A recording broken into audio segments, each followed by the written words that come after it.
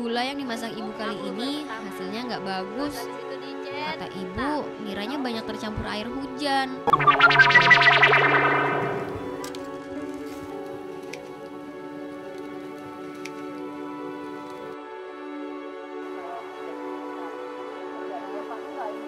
Coba aku mau nyoba. Oh, nggak baik. Gini ya, nggak baik anu. Ibu telaten banget memasak.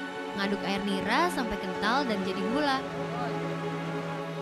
Padahal kalau dijual harganya cuma Rp5.000 per kilogramnya. Itu pun kalau gulanya bagus. Kalau jelek harganya nggak nyampe segitu, Aku prihatin dengar cerita ibu.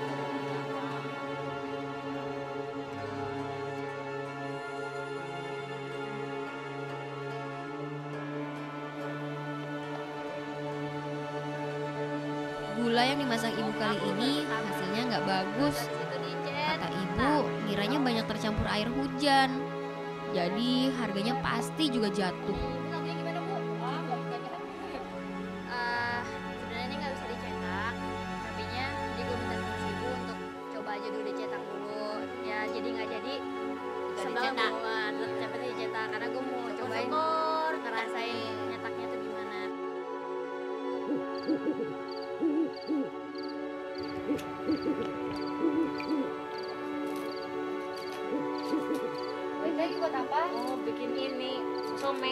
Somai. Iya. Dari pisang gitu? Iya. Iya, silakan. Pengalaman baru nih.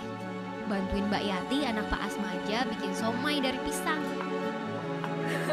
Gue makin bingung nih. Iya. Kalau di Jakarta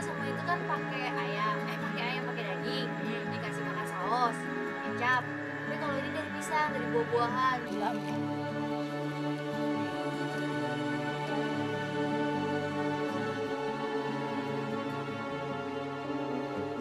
Pisang digoreng sampai matang.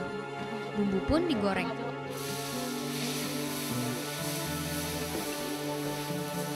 Dan dicampur sama pisang.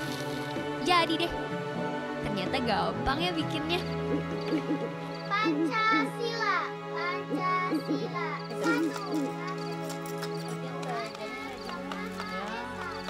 Somai yang udah jadi harus dibungkus dulu. Biasanya somai ini dijual Titin, cucu bapak di sekolahnya. Aku dengerin cerita Mbak Yati tentang suaminya. Ternyata selama ini suami Mbak Yati alias ayah Titin pergi ke Malaysia jadi TKI.